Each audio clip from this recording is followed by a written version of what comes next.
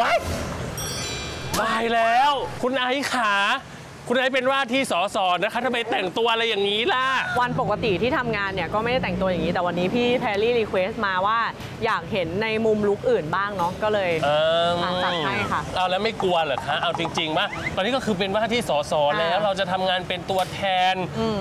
ประชาชนแต่งตัวแบบนี้เป็นแบบอย่างที่อ่าดีไหมหนูเห็นมีดราม่าเขาอ่าพูดเรื่องนี้โดนคุณไอซ์จะตอบยังไงอะโดนดราม่าเรื่องนี้มาเยอะอืมคนจะบอกว่าเฮ้ยแต่งตัวอย่างเงี้ยคือทำตัวให้มันสมศักดิ์ศรีหน้าที่สสหน่อยค่ะสิ่งที่ไอซ์ทำให้มันสมหน้าที่สสของไอซ์ก็คือไอซ์ทำงานในพื้นที่อย่างเต็มที่แล้วไอซ์ก็พร้อมที่จะเออทำงานสภาอย่างเต็มที่ค่ะแล้วไอซ์ก็อยากจะเซตบรรทัดฐานของสังคมไว้เลยอยากจะพูดไว้ตรงนี้เลยว่ายังไงคะเราไม่ควรที่จะตัดสินคุณค่าของคนจากการแต่งตัว ผู้หญิงเนี่ยจะจะโดนเวลาที่จะขึ้นมาอยู่ในตำแหน่งนำสังคมเนี่ยค่ะคือจะโดนไปขุดรูปชุดว่ายน้ำขุดเออรูปชุดโป๊แต่งตัวเซ็กซี่เห็นมีคนไปขุดรูปอ่าคุณไอซ์แล้วก็มามาด้วยพูดนะคะว่าอะไรอะ คุณค่าในตัวคุณมันไม่มีพอที่จะดำรงตำแหน่งนี้ตำแหน่งนั้นค่ะแต่ถามหน่อยนะคะว่า คือคุณค่าของคนเรามันควรที่จะถูกตัดสินด้วยการแต่งตัวเหรอ ไม่อยากจะให้ทุกคนตัดสินใครคนใดคนหนึ่งจากการแต่งตัว ถึงแม้ว่าผู้หญิงจะแต่งตัวเซ็กซี่ก็ไม่ได้แปลว่าคุณค่าในตัวของเขาจะลดลง ก็สรุปง่าย ๆ ก็คือบริบทการละเทศะใช่ นะคะ ก็ตามความเหมาะสมอันนี้มันเป็นไลฟ์สไตล์ส่วนตัวแล้วก็ดูกิ๊บเก๋เอาจริงๆดิฉันก็แกล้ง acting ตกใจไปงั้นแหละแต่ว่า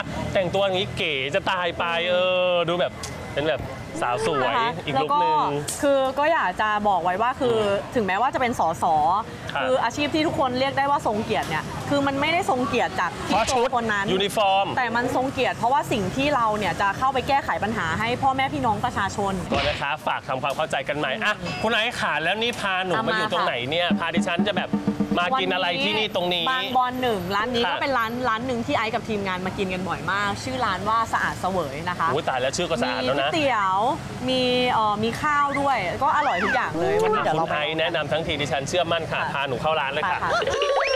เมื่อกี้พี่ไอซ์สั่งอะไรนะคะ ใหญ่ยำน้ำอ๋อใหญ่ยำน้ำคือสั้นๆง่ายๆอย่างนี้เขาก็จะรู้ไม่เลไม่ยอาถั่วงอกนะคะ ใส่เป็นผักบุ้งแทน ดิฉันขอบะหมี่นะคะ ต้มยำเหมือนกันอะในช่วงที่เรารอก๋วยเตี๋ยวที่กำลังลวกเส้นอยู่เนี่ยนะคะ ก็มีหลายเรื่องอยากเมาส์กับคุณไอซ์เนาะเมื่อกี้เราก็พูดเรื่องการเมืองกันไปเยอะแยะแล้ว อันนี้มาพูดเรื่องส่วนตัวบ้างก็เนี่ยเห็นแต่งตัวแบบเนี้ยนุ่งน้อยนุ่งสั้น แบบเนี้ยเขาก็มีข่าวเมาส์จริงๆหนูว่าไม่ได้อยากถามหรอกนะที่คุณไอซ์แต่งตัวอย่างเงี้ยเพราะว่าเคยเป็นเด็กเสียมาอุ้ยคำพูดแรงนะ พูดอย่างเงี้ยเป็นหลายอย่างมากนะคือช่วงช่วงนี้เป็นได้อะไรเป็นหลายอย่างมากที่เลยที่โดนถูกกล่าวหามีอะไรบ้างคะเป็นเอ่อเป็นโสเพณีโอ้โหว้ายเป็นขายตัวเป็นเด็กเอ็นนะคะทำไมแล้วก็ว่าล่าสุดเขาอย่างนั้นเป็นเด็กเสียน่ะคือไอ้ถามงี้นะ อันดับค่ะแรกนะ แล้วถ้าเป็นเด็กเสียแล้วมันคือยังไง อันนี้คือต้องบอกก่อนนะไม่ไม่เคยทำสักอาชีพนะคะค่ะบอกไว้ก่อนแต่ว่าคือไอ้รู้สึกว่ามันก็เป็นสิทธิและเสรีภาพที่คนจะสามารถเลือกทำอาชีพที่เขาที่เขารู้สึกว่ามันหาเลี้ยงตัวเขาเองได้ตอน